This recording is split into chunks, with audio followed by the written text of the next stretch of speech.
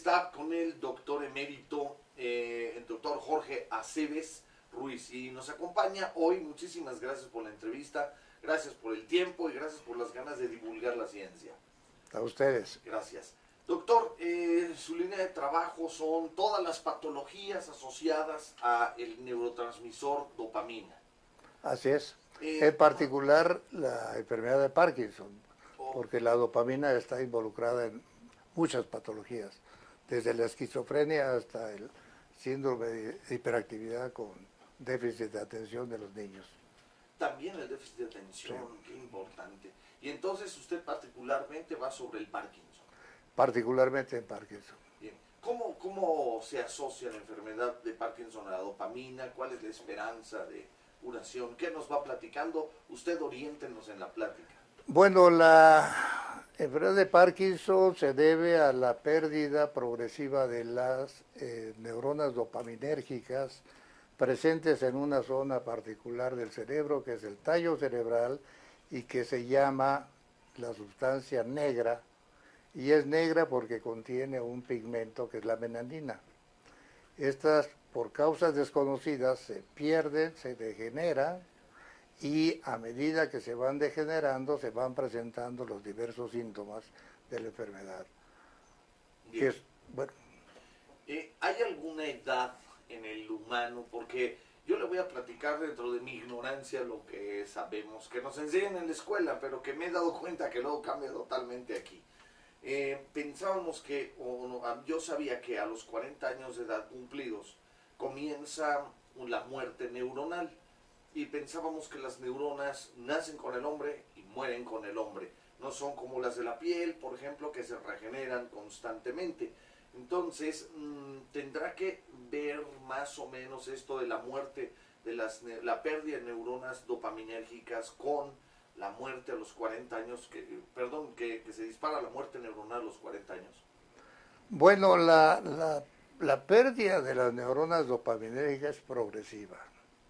Es decir, todos vamos perdiendo neuronas a medida que nos hacemos viejos.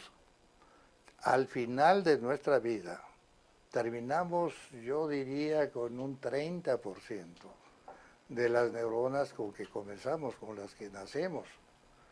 Y entonces el problema es que, o el aspecto positivo es que aún con esos pequeños grupos de neuronas dopaminérgicas, podemos manejarnos. Somos torpes a medida que envejecemos, andamos tropezándonos, sabemos dejando caer cosas, este, no podemos hacer eh, ah, maniobras finas, pero funcionamos. Y esa torpeza se debe a que hemos perdido la mayor parte de nuestras neuronas dopaminérgicas. Ok, ahora, ¿la razón es desconocida o hay alguna relación con esto de los 40 años cumplidos? Bueno, no, no, es precisamente una, una, una fecha exacta, es, es progresiva. Este, a partir de los 40 años es cuando se acentúa más la pérdida. Y la razón es que las neuronas dopaminérgicas están continuamente activas. Es como nuestro corazón. Nuestro corazón está latiendo mientras vivamos. Y entonces está consumiendo energía.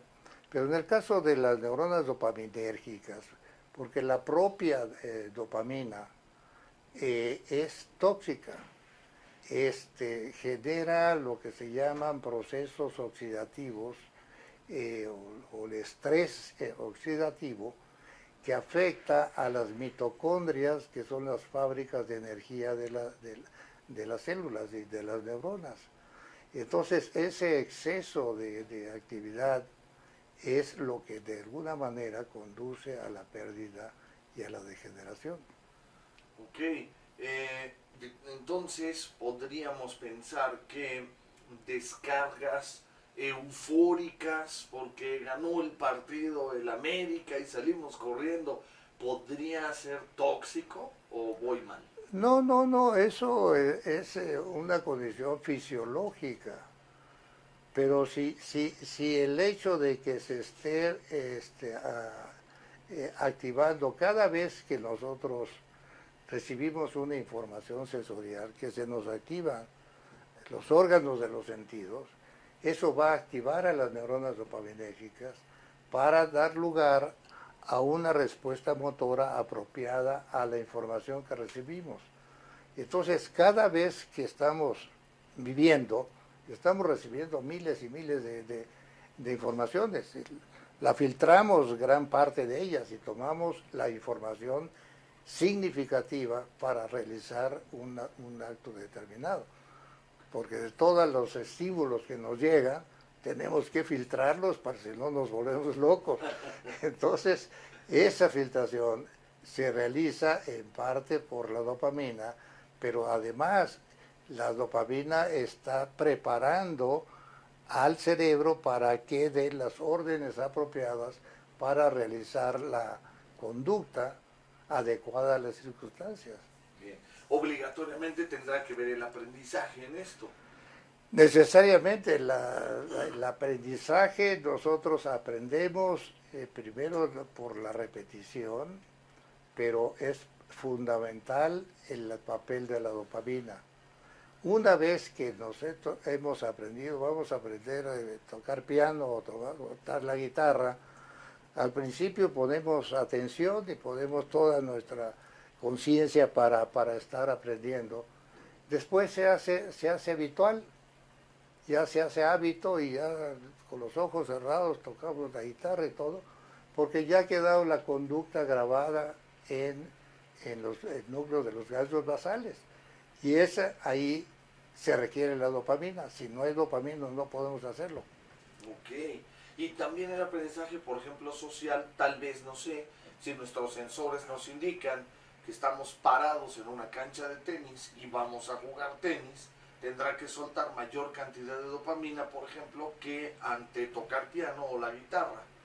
Bueno, desde luego, porque si el, ir a ganar un, un, trofeo por, por jugar bien, eso le va a producir una enorme liberación de dopamina porque el estado de placentero por la recompensa que vamos a obtener está controlado por la dopamina. Ok. Esta dopamina entonces, eh, si se mantiene, o no, no sé cómo preguntarlo, a ver si me ayuda, estas neuronas se van muriendo progresivamente. A partir de los 40 años se acentúan. Se va a acentuar al perderse la dopamina, también perdemos funciones como eh, lo que nos lleva a las arrugas eh, o este tipo de cosas eh, internamente. No, no, no necesariamente. Perdemos este, funciones más bien de tipo conductual, de tipo de conocimiento. Perdemos la capacidad de aprender. Este no ha hecho que nos hacemos viejos y nos cuesta muchísimo aprender algo. Y entonces, este, ¿por qué? Porque hemos perdido dopamina. Entonces, participa nuestro estado de ánimo, también depende de la dopamina. Entonces, eh, eh, no de, la dopamina que viene de las neuronas que están controlando el movimiento, sino de otro grupo de neuronas, que esas pues eh, se pierde también la enfermedad de Parkinson, pero a menor grado. La pérdida fundamental es de las neuronas que están en esta zona del cerebro que se llama la sustancia negra. Y las neuro esas no son las neuronas que están en el ventrículo tercero. No, este, eh, bueno, realmente en el ventrículo tercero no hay, no, es decir, el, tercer ventrículo es una cavidad que tiene líquido cefalorraquídeo. Estas están cercanas al ventrículo, al tercer ventrículo, pero no están en la, digamos, en la matriz del, cerebro, ¿no? Es decir, formando un grupo neuronal que son los que dan origen a los nervios que van a inervar a los núcleos que están diferentes, en diferentes localidades. ¿Qué neurona afecta, por ejemplo, a los lóbulos frontales, a la corteza prefrontal con dopamina? La, la corteza prefrontal está controlando fundamentalmente aspectos cognitivos y aspectos, la toma de decisiones, por ejemplo, está controlada por la corteza prefrontal, está controlada por la dopamina que viene de otro grupo neuronal que es el área ventral tegmental. Ok. ¿Y esa dopamina eh, también tiene que ver con la toma de decisiones? Desde luego. Desde luego. Ahora, el mal de Parkinson, vamos perdiendo estas neuronas. Eh, ¿Por qué no a toda la gente, si todos vamos perdiendo neuronas, por qué no a toda la gente le da mal de Parkinson? Bueno, la es una cosa de grado. Es decir, la pérdida de las neuronas dopaminérgicas para que se manifieste la enfermedad, se necesitan perder más del 70% de las neuronas para que manifieste la deficiencia de dopamina. Entonces tiene una, un grado de, como en inglés es compliance, ¿no? Es decir, tiene una margen de, de, de, de, digo, de, poder eh, funcionar dentro de un margen muy grande de pérdida y, y seguir eh, funcionando normalmente. Entonces, este, pero cuando se pierde más del 70% comienzan los problemas. Entonces el problema es saber primero por qué se producen. Se dice que hay pues, factores eh, genéticos que hace a ciertas personas más sensibles a los efectos tóxicos de lo que encontramos en el ambiente. Aparte de, bueno, hay eh, profesiones que son más propensas a desarrollar la pérdida de neuronas, Ah, el, el manganeso que se usa, por ejemplo, en la fabricación de, de- acumuladores, produce una- un, un Parkinson por pérdida selectiva de las neuronas dopaminérgicas. Hay tóxicos ahí en el ambiente, por ejemplo, se descubrió este, que un insecticida eh, produce, por la inhalación, produce pérdida selectiva de las neuronas dopaminérgicas y actualmente se usa experimentalmente para producir Parkinson. Se llama, se llama la rotenona. Rotenona. Sí. Y entonces, bueno, la otra cosa que se descubrió accidentalmente es eh, lo que se llama una sustancia que se llama, se, se abrevia MPTP. Y este se descubrió porque era un contaminante de la heroína. Y entonces en, San Francisco había un grupo de este, adictos a la heroína que les dieron, había alguien que se puso a fabricar heroína, pero no era pura y tenía un contaminante. Y como 10 o 12 personas desarrollaron Parkinson. Y era gente joven. Entonces, ¿qué pasó? Pues descubrieron que el contaminante de la heroína era lo que les había producido la muerte de las neuronas dopaminérgicas y habían desarrollado Parkinson. Y actualmente se usa, lo usamos aquí para producir Parkinson en los animales. Wow, qué bárbaro. Ahora, estas neuronas se van perdiendo en el Parkinson, eh, ¿qué cuidados, no sé si exista referencia, estudios o no sea así?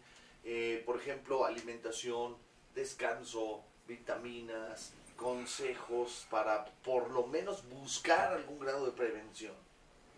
Bueno, la, la prevención es, es, es difícil, pero en parte, y esto tiene algo que ver con lo que nosotros hacemos, hay factores nutritivos en el cerebro. Hay factores que le llaman neurotrofinas que mantienen vivas a las neuronas, que nutren a las neuronas. Y uno de ellos es el llamado factor neurotrófico. Neurotrófico porque que nutre, derivado al cerebro. Y entonces esto se produce con el ejercicio. Entonces, si usted hace mucho ejercicio, produce el, el, el, este factor que le ayuda a conservar las neuronas dopaminérgicas. Wow. Enfermos de Parkinson que tienen ya declarada la enfermedad, el hacer ejercicio les favorece. Tengo un amigo, un muy amigo de mi yerno, que acaba de desarrollar Parkinson y él juega badminton, este, ¿cómo se llama? Front tenis. Y es un adicto al front tenis y empieza a desarrollar Parkinson, sigue, sigue haciendo ejercicio lo más que pueda para tratar de retardar la progresión de tu enfermedad. La enfermedad no se cura, se puede disminuir cómo va progresando, progresa así o progresa así. Los tratamientos es para que progrese así. Un enfermo de Parkinson se muere igual que, cualquiera de nosotros, pero la calidad de vida del enfermo es, es terrible. Entonces lo que hace el médico es tratar de dar tratamientos que le permitan más o menos funcionar cuasi normalmente durante todos los días. Un, ejemplo de Parkinson es lo que tenía el Papa Juan Pablo II. Juan Pablo II, y, Hitler y este Leonardo da Vinci, bueno, una cantidad de, de, gentes eh, importantes y famosas. Eh, Muhammad Ali. Ah. Eh, Michael J. Fox, que creó una fundación ahí para, para dar dinero para controlar el Parkinson, pues tiene, eh, él tiene un problema porque el Parkinson, después veremos eso, cómo se controla el Parkinson, pero la mayor eh, parte de los enfermos se reciben L-Dopa. El problema con la L-Dopa es que produce movimientos anormales. No sé si usted ha visto algún video de de Fox, ahí viendo así. Y este, ese, eso es producido por, por la L-Dopa. Y de hecho es una de las preguntas que, que traía yo, porque entonces la L-Dopa no es lo mismo o, igual que la dopamina. No. Genera dopamina y por eso es que actúa como la dopamina, pero tiene un problema de la toxicidad. Produce movimientos anormales. ¿Es más tóxico que la dopamina? Es más tóxico que la dopamina, sí.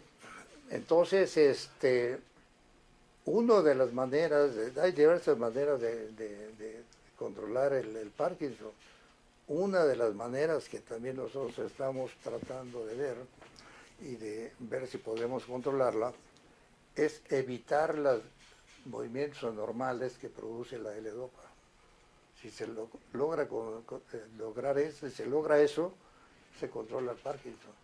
Hay algunas gentes, un porcentaje, no sé, diría yo 10% de neuronas que por una bendición no desarrollan estos movimientos anormales con la L-Dopa y se pasan toda la vida controlándose la enfermedad, recibiendo la L-Dopa. Ahora, uno de los grandes problemas, y mucha gente están tratando de ver, ¿Qué tienen estas eh, personas que no desarrollan estos efectos indeseables de la L-Dopa? Pero son agentes afortunados que pueden seguir este, toda su vida funcionando muy bien. Pero la L-Dopa entonces no la produce también el organismo. La L-Dopa se produce en el organismo a partir de un aminoácido. Nosotros estamos tomando tiroxina la tirosina es un aminoácido que es la base para formar la, dopamina a través de la L-Dopa. Ah, ok. Ahora, en, estos pacientes de Alzheimer, perdón, de Parkinson, una vez que lo detonan, o, primero, entonces la prevención del Parkinson, una de las sugerencias, hacer ejercicio. Ah, desde luego.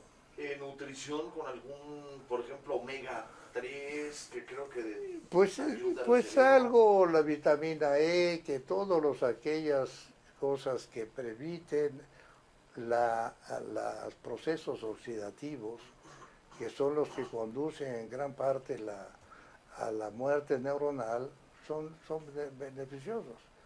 Y hay muchos extractos vegetales o frutas, etcétera, etcétera, que que actúan como agentes antioxidantes. Por ejemplo, usted encuentra ahí una buena cantidad de en las, farmacias estas, eh, ¿cómo se llaman? Las GNPs. Ah, sí. Pues eh, que, ah, le ofrecen ahí una buena cantidad de, de, agentes antioxidantes, entre ellos la vitamina E. Yo tengo desde hace como 20 años tomando vitamina E. No, pues yo también, porque muy bien. ok. Ahora, eh, la prevención, ¿el estrés se relaciona también a esto? O, por ejemplo, mucha gente está pensando que las alteraciones emocionales desencadenan una serie de problemas. Puede, pero realmente no sabemos la causa. Actualmente hay una, hay una hipótesis que sugiere que la enfermedad de Parkinson es una enfermedad por prión. ¿Ustedes saben lo que es el prión? No. Es eh, eh, lo que produce la enfermedad de las vacas locas. Se produce una degeneración del, cerebro que se llama encefalopatía espongiforme, porque el cerebro se forma como, como esponja se van perdiendo neuronas. Y esta es una enfermedad producida por una proteína alterada. No es un virus, no es, un, eh, este, no es una bacteria, es una proteína. Y contra eso no hay absolutamente nada, no hay antibióticos, no hay medicina. Es, al que tiene una, una enfermedad por prión, irreversiblemente se muere. Las vacas locas que les da ahí, no hay manera de salvarlos. ¿Y dónde viene el Por una malformación de una proteína. Se, altera por alguna razón particular, la, se, se, altera la configuración de la proteína y actúa como agente infeccioso. Entonces se ha demostrado en la enfermedad de Parkinson, en las neuronas que están en proceso de degeneración hay agregados de proteína en esas neuronas del, enfermo de Parkinson. Y se ha tomado esas, esas, eh, eh, esos agregados, se ha separado, se ha demostrado que es una eh, proteína mal formada, que normalmente está pero cuando está bien conformada funciona y ayuda para la función del, cerebro, pero cuando se altera, se produce una enfermedad, digo, se produce una especie de prión que es, es capaz de inducir la degeneración de las otras neuronas. Se, se han tomado, inclusive hay un modelo de enfermedad de Parkinson, se toma de los enfermos que mueren de Parkinson, se toma esos agregados, se les concentra, se les inyecta a las ratas y les produce eh, Parkinson, se produce pérdida de las neuronas dopaminérgicas.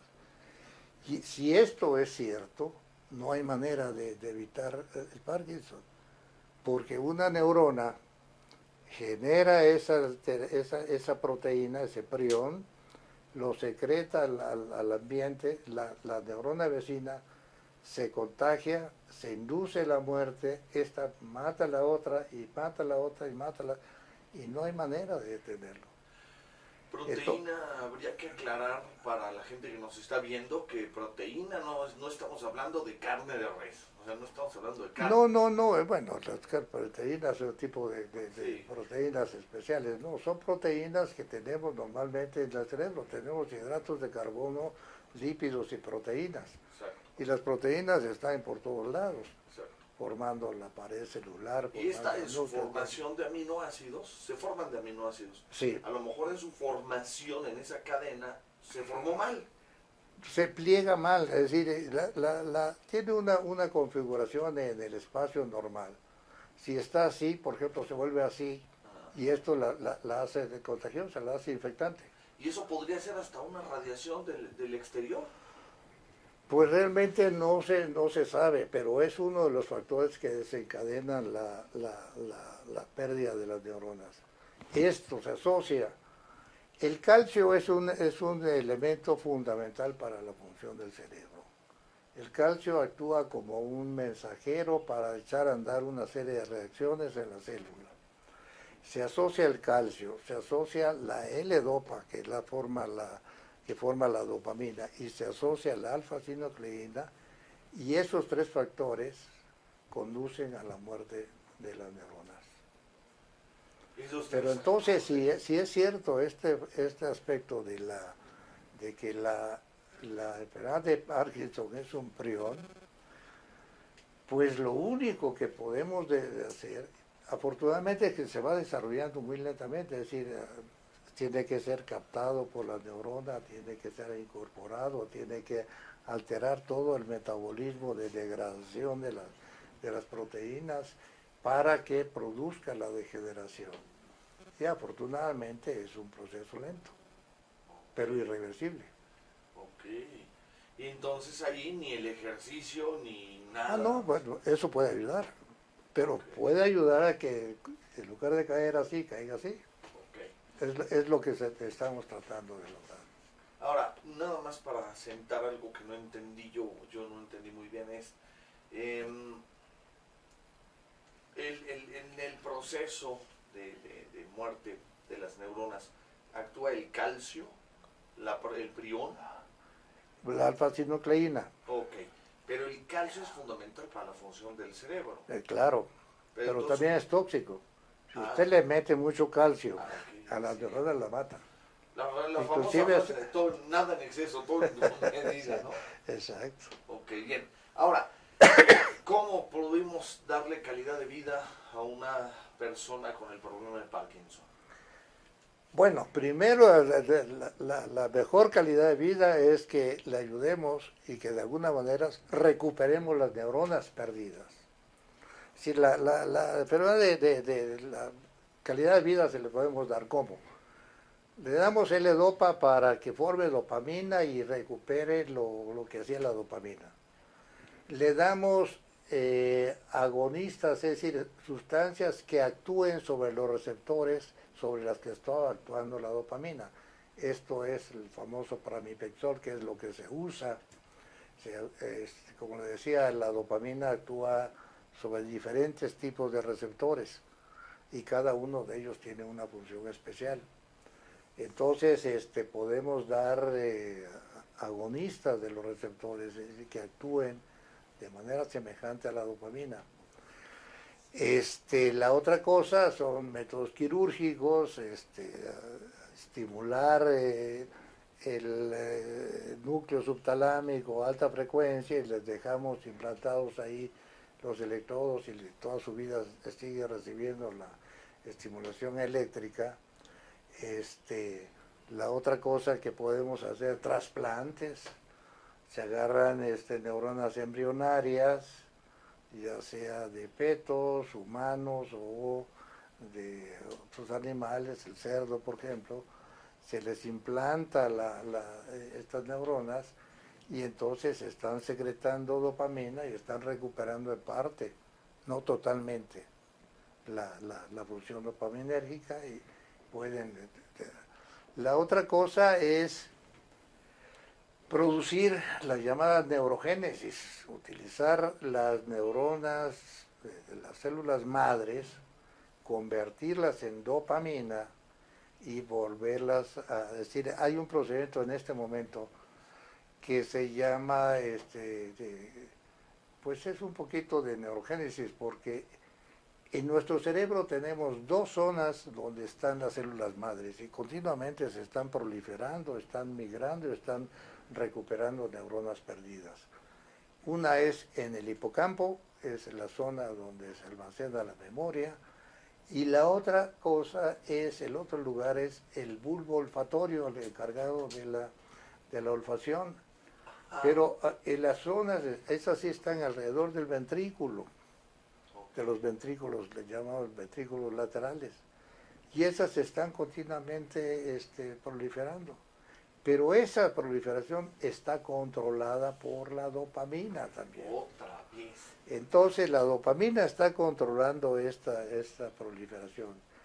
Pero también viene la diferenciación, van, migran, llegan al núcleo donde, al bulbo olfatorio o al, a, otras zonas que, que son inervadas por, por la zona subventricular, pero principalmente el olfatorio, y se transforman o en neuronas GABAérgicas o en neuronas dopaminérgicas que se integran funcionalmente. Entonces existen zonas que normalmente y en nuestro cerebro adulto están normalmente produciendo nuevas neuronas. Entonces rompió el esquema y el paradigma y todo, doctor, qué barbaridad. Entonces, este, la, la pregunta es decir, bueno, te decía yo que esas neuronas en los enfermos hay un procedimiento que actualmente no sé si ya está en la clínica o está a nivel experimental, lo que agarran es eh, esas neuronas de la zona subventricular, las células madres, las ponen en cultivo, les ponen ciertos factores que las convierten en dopamina, en dopaminérgica. Y entonces, agarran, sí, entonces agarran esas neuronas y se las insertan en el estriado, que es el núcleo fundamental para el control motor, y recuperan algo de la función motora. Entonces, ese es un procedimiento que, que funciona. Ahora, nuestra concepción de las acciones de la dopamina es que cualquier cosa que usted le ponga en el estriado, en este núcleo fundamental, que genere dopamina. Usted puede poner una bomba de dopamina ahí y recupera la, función motora. Le pone usted un trasplante de neuronas dopaminérgicas embrionarias ahí y funciona. Y agarra usted las células madres transformadas y les pone ahí, va a funcionar. Pero no hay una integración funcional.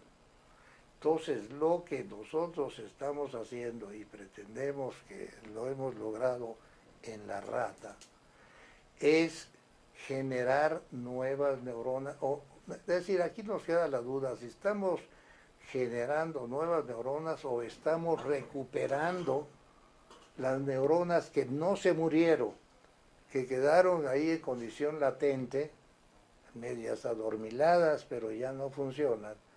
Y con el tratamiento que les aplicamos y esa base de terapia génica, eh, haciendo la transfección del factor eh, neurotrófico derivado del cerebro asociado a una activación crónica muy prolongada, para la rata son cinco meses, de la activación de ciertos eh, receptores dopaminérgicos, que son los llamados receptores de 3, tenemos recuperación de las neuronas, recuperación de la inervación y recuperación de la conducta motora.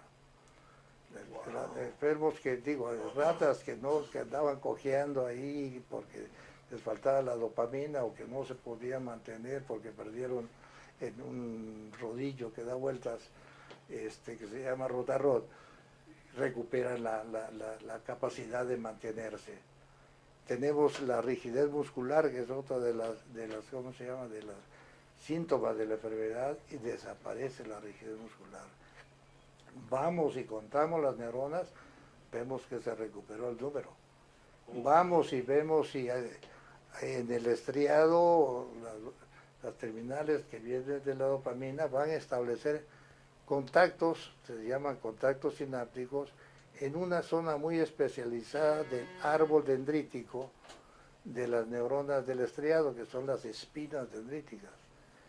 Y cuando falta la dopamina se pierden las espinas y por lo tanto no puede haber función, se pierde la función, la capacidad de integrar la actividad motora cortical que viene de corteza por, por los ganglios basales. Entonces nuestro tratamiento recupera las espinas dendríticas y entonces esa recuperación de espinas dendríticas permite el restablecimiento de la sinapsis, de los contactos funcionales y del control de la información que viene de corteza. Entonces ya tenemos el primer trabajo publicado, estamos trabajando en otros dos que también tenemos resultados positivos. Entonces esto, eh, en eso estamos, por lo menos en la rata. ha funcionado bien. ¿Qué tiempo en las investigaciones médicas pasa del el experimento con ratas a humanos. Años. Años. Eh, sí, porque mire, el, experimento de la rata, ahorita tenemos también que saber si primer lugar tenemos que trabajar ratas viejas, sí, eso sí lo estamos trabajando, porque para representar al Parkinson humano, pues el, Parkinson se presenta después de los 60 años. Hay Parkinson juvenil, pero son unos cuantos y algunos son hereditarios. Entonces, este, tenemos que tener ratas viejas. Y luego, nuestro tratamiento es por lo menos cinco meses. Y luego todos los estudios para saber, analizar todos los... Un, un proyecto dura por lo menos un año. Entonces, eh, ya estos aspectos ya hemos dicho, bueno, ¿cómo vamos a estimular al receptor? En la clínica se ha observado que cuando se da la, la L-Dopa por vía oral, no es lo mismo que cuando se va por vía intraduodenal, es decir, se le llama activa, de administración intermitente, porque da una dosis acá y en la mañana y otra en la tarde, o por vez de una, bomba que le está continuamente eh, este, administrando la L-Dopa. Entonces, lo que produce la L-Dopa, pues son los, aparte de producir las disinesias, son que los al principio tiene un tiempo de acción, qué sé yo, 10, 12 horas. Después se acorta a 10, después a 8, después a 5, después a 2. Y el tiempo de acción se va cortando. Y el tiempo que no actúa es, es mucho mayor y, se presentan las disinesias. Entonces, esto disminuye cuando se da de manera continua comparada cuando se da de manera eh, oral. Entonces, nosotros hemos visto que también administrando, no la L-Dopa, eso lo vamos a probar con la L-Dopa, pero administrando el, fármaco que se usa actualmente para los enfermos, que se llama pramipexol, este, y es el tratamiento inicial del, tratamiento, también funciona. Pero entonces no funciona tan bien como cuando se da por vía continua, por, por bombeo.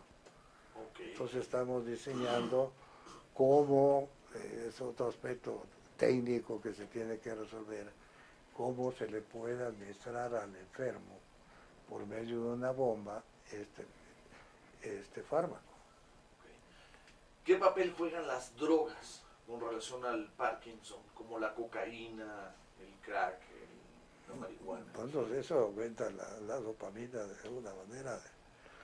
Esta es una buena, buena pregunta.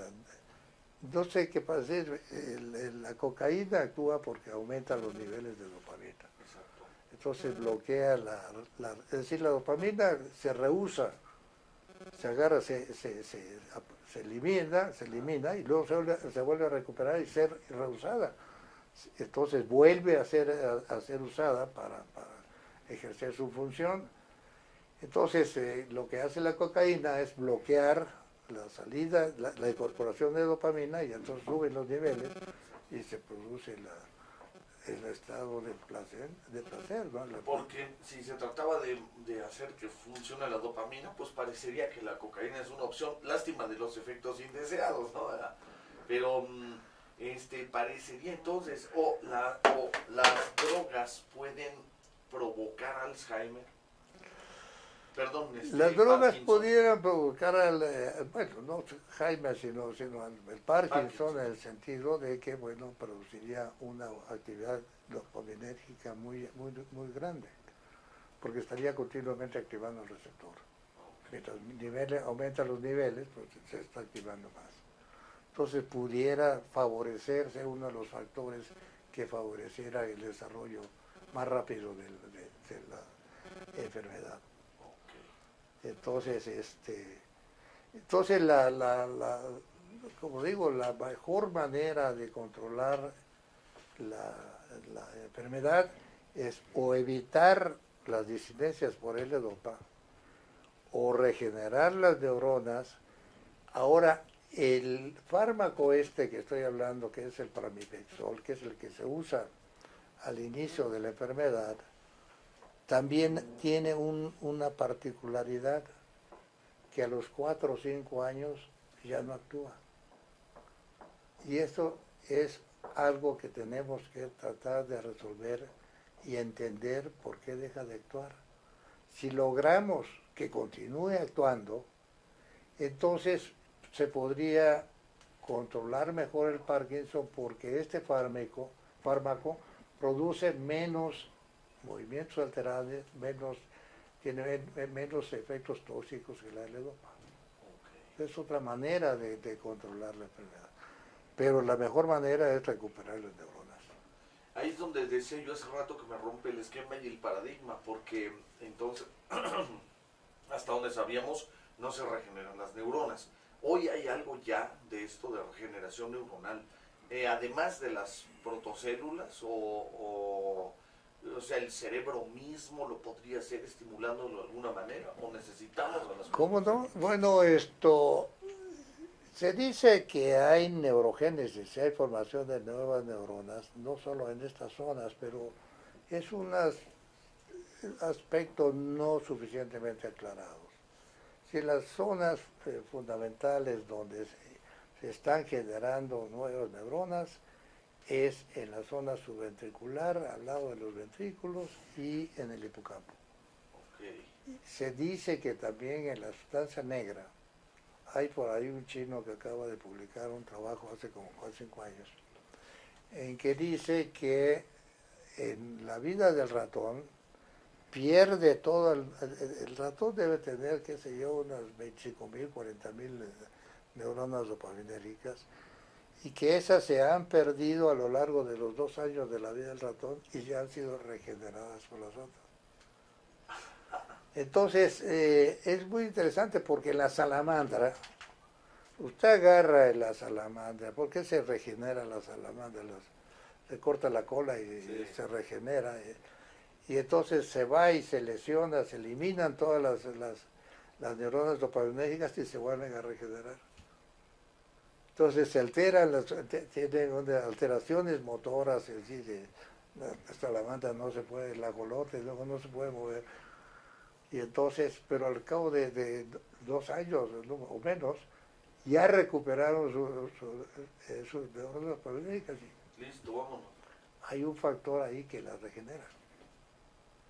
Entonces el problema es saber qué es lo que la regenera. Pero la otra cosa es que no es solo la cosa de regenerar, porque si hay un factor que empieza a proliferar y, tener eh, ah, neuronas por todos lados, no, tiene, recupera el número normal que había antes. Entonces, hay algo que regula el número. Si no se va, no es una proliferación ahí desordenada. ¿no? Hay algo que regula el número. Exacto. También. Exacto. ¿Dónde está esa inteligencia? ¿Quién es el arquitecto? ¿Cómo se o sea? ¿Cuándo es usted creyente, no? Ahí viene la fe. esta o esta selección natural, ¿no? Cómo ha ido en el ensayo, error, ensayo, acierto, creando esta magnífica maquinaria. Así es, así es. Pues estamos en eso, vamos a ver si logramos demostrar. Yo como digo, ya tenemos un primer trabajo publicado, estamos preparando otros dos y estamos en proyectos en marcha. ¿Dónde le podemos dar seguimiento a su trabajo? ¿Hay alguna página web? ¿No hay? No, no, no. la publicación donde la podemos Las publicaciones, eh, bueno, eh, tengo el eh, trabajo de PLO hace One, se llama el, trabajo, pero este, si usted me deja el, su mail, se lo, se lo mando como documento adjunto. Con gusto, bien. Pues doctor, muchísimas, muchísimas gracias por su entusiasmo de divulgar el trabajo que está haciendo y gracias por el apoyo que nos ha dado con esta entrevista. Con todo gusto. Muchas gracias.